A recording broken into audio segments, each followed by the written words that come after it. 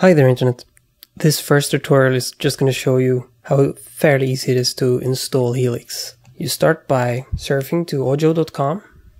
You scroll down to almost the bottom. You download the version that corresponds to your computer. Wait for the download, 10 seconds or so. This is the tricky part. You have to know where you store your VST plugins. I have mine in C program files Steinberg VST plugins.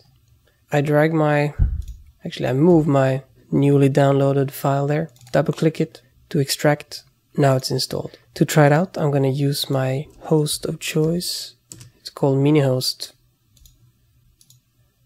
In program files Steinberg VST plugins. There we have Audjoo Helix. No license found. We could expect that and the trial version does not support saving. We knew that too.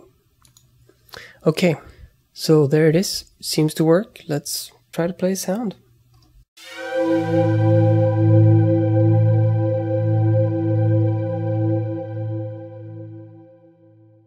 Serene. Okay, until next time, take care. Bye.